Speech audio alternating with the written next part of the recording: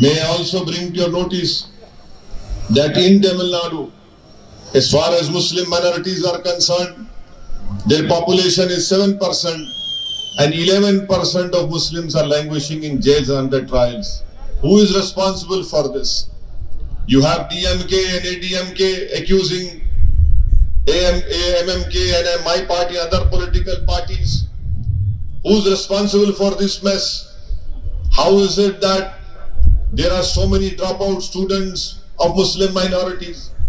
How is it that you only talk about defeating BJP? Yes, we also want to defeat BJP. But should that be the sole responsibility of the Muslims?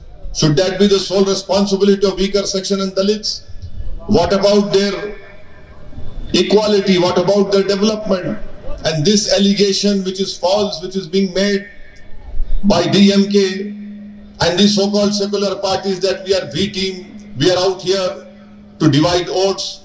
May I tell them very clearly and soundly that we are here to win and we don't care who wins or loses because if you fight an election, you have to defeat some political party.